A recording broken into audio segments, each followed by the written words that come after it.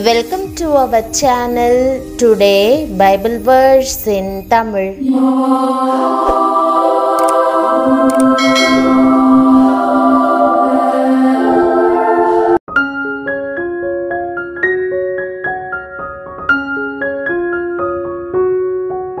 இன்றைய வசனம் சங்கீதம் நூற்று இருபத்தி எட்டு ஐந்து கிறிஸ்துவுக்குள் பிரியமானவர்களே நம்முடைய ஆண்டவரும் இரட்சகருமான இயேசு கிறிஸ்துவின் வல்லமையுள்ள நாமத்தில் உங்களை வாழ்த்துகிறேன். கர்த்தர் சியோனிலிருந்து உன்னை ஆசிர்வதிப்பார். நீ ஜீவனுள்ள நாளெல்லாம் எருசலேமின் வாழ்வை காண்பா என்ற வாக்குதத்த வசனத்தை இன்றைக்கு நாம் தியானிப்போம். இன்று சீயோனிலிருந்து தேவன் உங்களை ஆசிர்வதிப்பேன் என்று உறுதியளித்திருக்கிறார். உங்கள் வேலை வியாபாரம் படிப்பு மற்றும் உறவுகள் எல்லாவற்றையும் தேவன் ஆசிர்வதிப்பார். சீயோன் என்பது தேவன் தங்கி இருக்கும் இடம். கர்த்தருடைய ஆசிர்வாதங்கள் ஆச்சரியமானவை அவை மேன்மையானவை. நம்மில் அநேகர் மலை பிரதேசங்கள் போன்ற பல இடங்களுக்கு சென்று அங்குள்ள அழகிய எழிலை காண விரும்புகிறோம். மலையேறுவது ஒரு திகிலூட்டும் அனுபவமாக இருந்தாலும் மலைக்கு மேல் நின்று நாம் பார்க்கிற காட்சிகள் நம் கண்களை கவர்கிறது அல்லவா? சீயோன் தேவனுடைய பரிசுத்த மலை. இவ்வுலகத்தின் இயற்கை நம்மை இவ்வளவு கவரும் என்றால் தேவன் தங்குகிற சீயோன் மலை எவ்வளவு அழகுள்ளதாக இருக்கும். சீயோனிலிருந்து தேவனுடைய ஆசிர்வாதங்களை பெற கர்த்தருக்கு நாம் பயப்பட வேண்டும். மலை ஏறுகிற ஒருவர் தனது நாட்டில் உள்ள மிக உயரமான பனிப்படர்ந்த மலையில் ஏற விரும்பினார். அவர் ஏறக்குறைய முப்பது முறைக்கும் அதிகமாக முயற்சி செய்துவிட்டார். ஆனால் ஒவ்வொரு முறையும் அவருக்கு தோல்வியே. அவர் மலை பயணத்தை தொடங்கும்போது உற்சாகமாய் செல்வார். ஆனால் மேலே செல்ல செல்ல அவருடைய வலிமை குறைந்து போகும். விரைவில் தனது முயற்சியை கைவிட்டு மீண்டும் கிராமத்திற்கு திரும்பிவிடுவார் ஒரு சந்தர்ப்பத்தில் நகரத்தில் மூக்கு கண்ணாடி வைத்திருக்கும் ஒரு நபரின் தொடர்பு கிடைத்தது. அவர் ஒரு ஜோடி சன்கிளாஸை மலை ஏறுவதற்கு பரிசாக வழங்கினார்.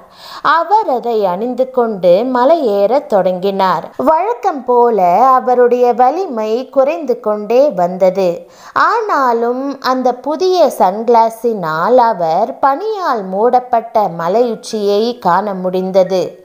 அந்த உற்சாகம் அவரை மலையுச்சியை அடைய செய்தது.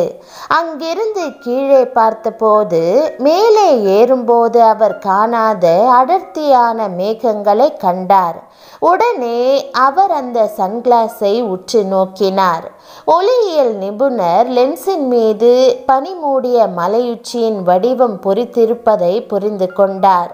நீங்கள் மேல் நோக்கி பார்த்தால் மட்டுமே அது தெரியும் வகையில் அது உருவாக்கப்பட்டிருந்தது தனது முந்தைய முயற்சிகளின் போது தனக்கு தடையாக இருந்த காரணத்தை ஒளியியல் நிபுணர் புரிந்து கொண்டார்.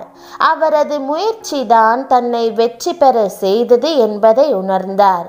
மேலும் அவரது சிறிய தந்திரம் தன்னை மலையுச்சிக்கு அழைத்து சென்றது என்றார். ஆம் பிரியமானவர்களே நாமும் உந்துதலுக்காகவும் வழிநடத்துதலுக்காகவும் கர்த்தருடைய பரிசுத்த மலையை பார்த்து கொண்டே இருக்க வேண்டும். மேலும் அவர் வாசம் பண்ணுகிற இடத்திலிருந்து நமக்கு தருவேன் என்று வாக்குறுதியளித்த அழகான ஆசிர்வாதங்களை பெற நாம் முயற்சி செய்ய வேண்டும். கர்த்தரை எப்பொழுதும் எனக்கு முன்பாக வைத்திருக்கிறேன். அவரின் வலது பாரிசத்தில் இருக்கிறபடியால் நான் அசைக்கப்படுவதில்லை என்று சங்கீதக்காரன் கூறுகிறார். தேவனுக்கு பயந்து நாமும் ஆசிர்வாதங்களை பெறுவோம். கர்த்தரே உங்களுடைய உந்துதலாகவும் வழிகாட்டியாகவும் இருப்பாராக. நீங்கள் செய்கிற எல்லாவற்றையும் தேவன் சியோனிலிருந்து ஆசிர்வதிப்பார். இன்றைய வாக்குதத்தத்தின் இரண்டாம் பகுதியை தியானிப்போம். சில ஆசிர்வாதங்கள் சாதாரண மக்களால் புரிந்து கொள்ள முடியாத தேவ ரகசியம். நீ ஜீவனுள்ள நாளெல்லாம் எருசலேமின் வாழ்வை காண்பா என்று கர்த்தர் நம்மை ஆசிர்வதிக்கிறார். எருசலேம் மிக மிக பழமையான ஒரு பட்டணம். இஸ்ரவேல் தேசத்தின் பகுதியிலே மலைகளால் சூழப்பட்டிருக்கிற நகரம். இந்த பட்டணம் ஆபரகாமின் காலத்திலிருந்தே இருந்து வந்தது என்பதை நாம் அறிகிறோம். சாலேமின் ராஜா என்று அழைக்கப்படுகிறவர் எருசலேமில் ஆண்டு வந்தார். எருசலேம் என்ற வார்த்தைக்கு சமாதானத்தின் நகரம் என்பது அர்த்தமாகும். பிற்காலத்தில் தாவீது இந்த பட்டணத்தை எபூசியரிடமிருந்து கைப்பற்றி இஸ்ரவேலுக்கு தலைநகரமாக்கினார். சாலமோன் ராஜா இந்த பட்டணத்தில் கர்த்தருக்கென்று மகிமையான தேவாலயத்தை கட்டி முடித்தார். எருசலேமிலே நூற்றுக்கணக்கான யுத்தங்கள் நடந்தன. பலமுறை புறஜாதியார்களால் பிடிக்கப்பட்டது. ஆனாலும் அந்த நகரம் அழிக்கப்படவே இல்லை. இன்றைக்கு எருசலேம் நகரம் தலை தூக்கி நிற்கிறது. ஆவிக்குரிய அர்த்தத்தில் சொல்லப்போனால் நாமே கர்த்தருக்கு எருசலேமாய் இருக்கிறோம். நம்மை தேவனுடைய ஆலயமாய் ஒப்பு கொடுத்திருக்கிறதினால் கர்த்தர் நமக்குள் வாசம் செய்கிறார். பரிசுத்த ஆவியானவர் ஒருவனுக்குள் வாசம் செய்கிற வாழ்வுதான் மேலான வாழ்வு. ஆகவேதான் கர்த்தர் நீ எருசலேமின் வாழ்வை காண்பா என்று சொல்லுகிறார். நித்தியத்திலே கர்த்தர் நமக்கென்று ஆயத்தமாக்கின பட்டணத்திற்கு பெயர் சூட்டும்போது எருசலேமை நினைவு கூர்ந்தார்.